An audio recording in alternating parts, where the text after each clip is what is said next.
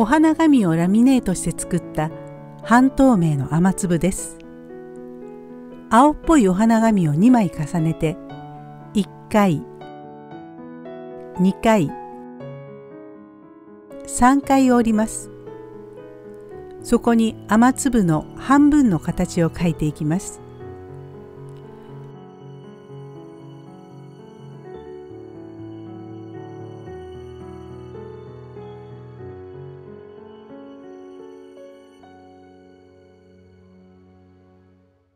空いているところをホッチキスで留め切り取ります。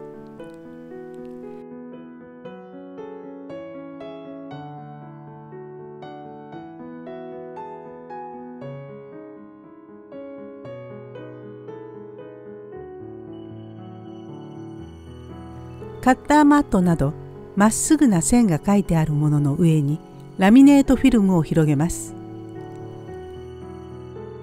線に沿ってスティックのりを塗ったらその上に雨粒を並べていきます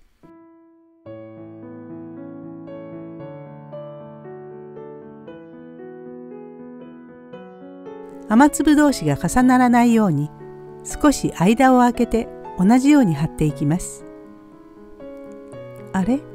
右側の部分を貼り忘れていました。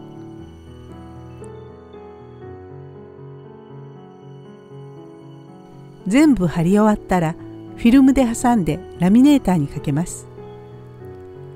これを一筋ずつ切り離します。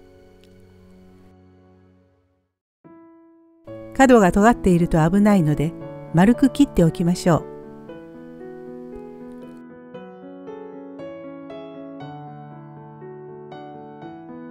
お花紙2枚で A4 ラミネートフィルム2枚分の雨粒ができました。